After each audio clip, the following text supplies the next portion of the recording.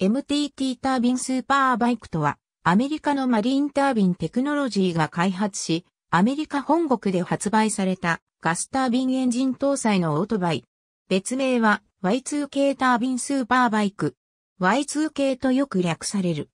米国ルイジアナ州フランクリンで、主に航空機用、ガスタービンエンジンを搭載したモーターボートや、消火用ポンプなどを製造している同社が開発したのがこのオートバイである。ガスタービン搭載を主張するかのような体型の排気管とジェット機そのものの甲高い金属音が特徴のオートバイである。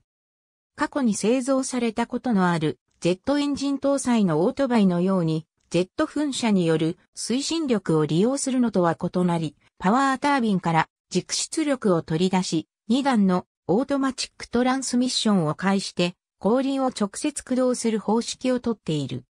ガスタービンエンジンは圧縮機とタービンを駆動しているため完成力が大きく、レシプロエンジンのように短時間で急激な回転数の増減ができないため、運転には特別なテクニックが必要である。搭載されるエンジンは、ベル206型ヘリコプターなどにも採用される、ロールスロイスホールディングス社製のターボシャフトエンジンである、アリソン 250C18。ディーゼルエンジン用の軽油を使用できるように仕様が変更されており、320A 馬力の最高軸出力を発生する。ヘリコプターに搭載した状態で、ジェット燃料を使用した場合、同エンジンの最高出力は 318A 馬力となっている。MTT ではアメリカ連邦航空局の基準で航空機用としては使用期限を迎えた中古の同エンジンを購入し、再び組み直した上で使用している。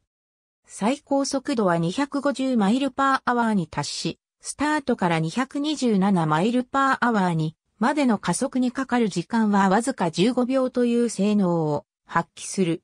またバックミラーの代わりにリアビューカメラが装備され、フロントの LCD モニターに映し出される構造になっている。なお、2001年モデル以降の一般的な市販オートバイに装着されているスピードリミッターが同オートバイには装着されていない。市販されている世界最速のオートバイ世界一高価な市販オートバイとしてギネスブックにも記載されている。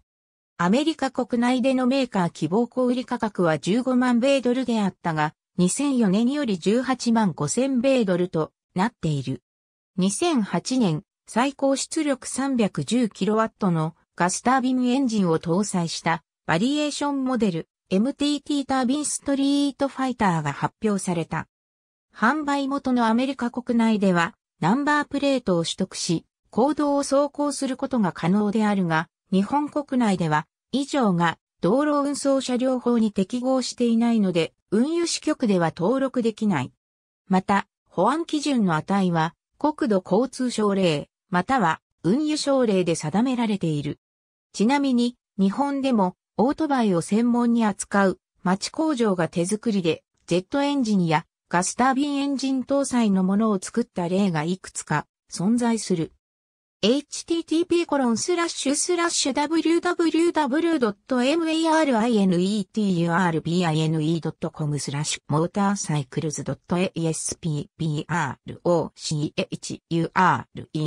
バイカーズステーションナンバーワン56 u 風車2000年9月 P104 から105エンジン始動から走行開始の様子。ちなみに乗っているのはオーナーでもある。アメリカ人タレントのジェイレノ。ありがとうございます。